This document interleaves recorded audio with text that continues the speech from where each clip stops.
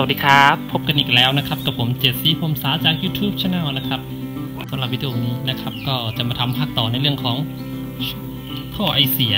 นะครับ ท่อไอเสียที่ท่านผู้ชมเห็นอยู่นี้นะครับ ก็เป็นท่อรองยาของผมนะครับในตั้งแต่วิดีโอก่อนๆนี้หน้านู้นนะครับ เป็นท่อฟีโน่นะครับเป็นท่อฟีโน่นะครับ แล้วก็วิดีโอล่าสุดผมได้ทำอ่าท่อในการทำสูตรก็คือ ผมจะทำห้องพักนะครับ ครึ่งหนึ่งอีกครึ่ง นึงก็ใส่ใยแก้วนะครับ ใยแก้วคือตัวนี้นะครับ นี่ผมถอดออกแล้วนะครับ จะลองสูตรใหม่นะครับ เนื่องจากสูตรนี้ก็บอกตรงๆเลยว่าเสียงไม่ค่อย work เท่าไหร่นะครับเสียงไม่ค่อย work เท่าไหร่ทีนี้ก็คิดไปคิดมานะครับ ก็เดี๋ยวจะมาลองทำอีกสูตรหนึ่งแล้วกันนะครับ สูตรนี้ก็เอาตรงๆ ก็ยังไม่รู้เหมือนกันว่าจะเสียงจะออกมาเป็นยังไง นั่นก็คือ ผมจะเอาห้องพักตัวนี้ออกนะครับ แล้วเอาชุดใยแก้วมาใส่ข้างล่างแทนนะครับ ชุดใยแก้วตัวนี้นะางแทน ส่วน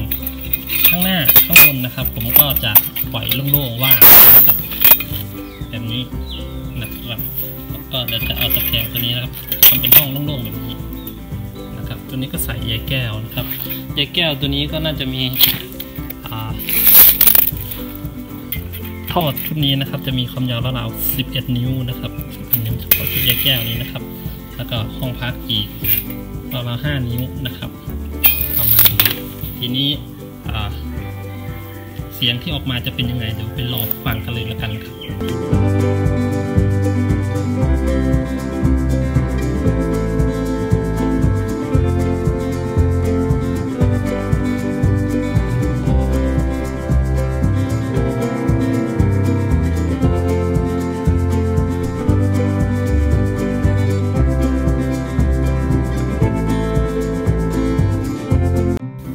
นี้นะครับมาฟังโล่งๆเลยนะครับ เสียงจะเป็นยังไงกันบ้างนะครับโอเค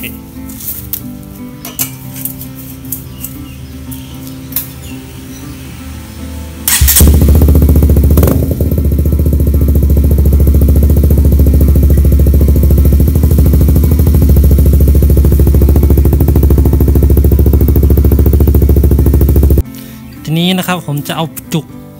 นะครับตรงปลายมันนะครับปิดเข้าไป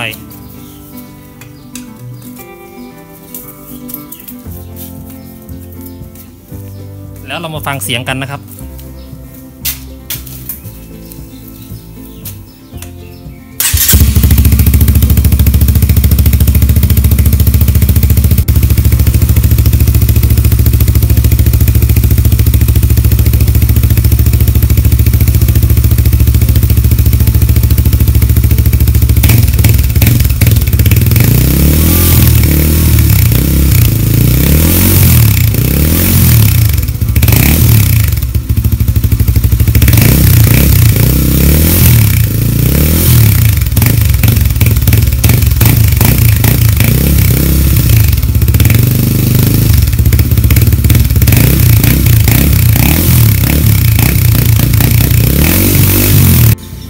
ครับก็เป็นยังไงกันบ้างนะครับสำหรับ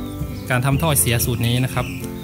ในเรื่องของเสียงนะครับ ก็ขึ้นอยู่กับความพึงพอใจของแต่ละบุคคลก็แล้วกันนะครับ แต่ว่าสำหรับผมเนาะสำหรับผมเอง ผมก็พูดตรงๆว่ายัง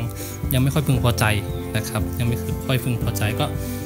ก็คงต้องมีการพัฒนาพัฒนาต่อยอดกันอีกต่อไปนะครับ